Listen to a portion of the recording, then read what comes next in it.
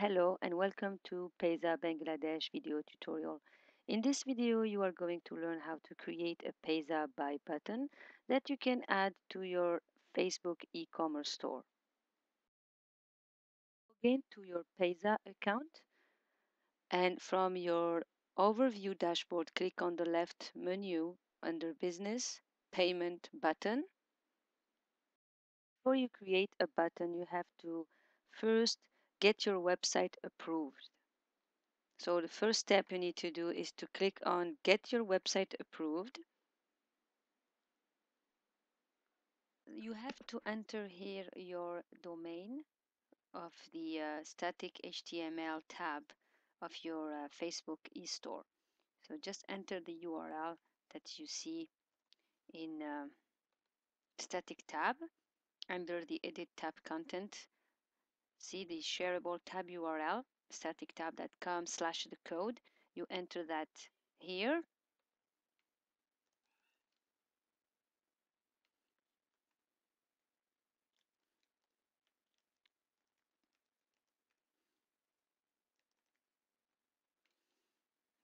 Click on I sell product or services depending on what you are selling in this example, we'll use I sell product. Do you own and control the website? Click on no.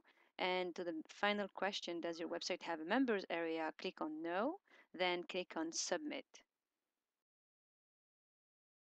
Here, you can see the uh, URL of the static tab of your Facebook e-store page and you can just click on save to uh, save the information. Click on the left menu under Business on Payment Buttons to start creating Payza buy buttons for your Facebook e-commerce uh, store. So click on Create Buttons. And from here you can create Buy Now button, Donate button, and Subscription button. So we are going to start with the uh, Buy Now buttons. So click on buy now buttons and you will have to fill the form about the product. Select the uh, graphic button you want to use on your Facebook uh, business page. Select the currency. You can select Bangladesh uh, Taka and uh, you just have to enter the, uh, the price, the amount and if there is any uh, handling fees uh, you can add them there. And you can create the button this way by clicking on update. Or you can also select a USD dollar and uh, enter the shipping information. When you are done creating the button description information click on update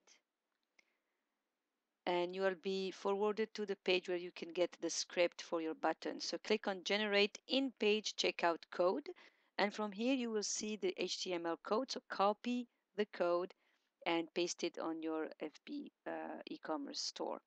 And you can also preview the button and you can also find the link code which is this just the link of the URL to for the buy button. So just select the script and you can paste it on uh, your uh, FB e-commerce store. Thank you very much and watch the next video where we're going to show you how to paste the buy button into your uh, Facebook e-commerce page. Thank you.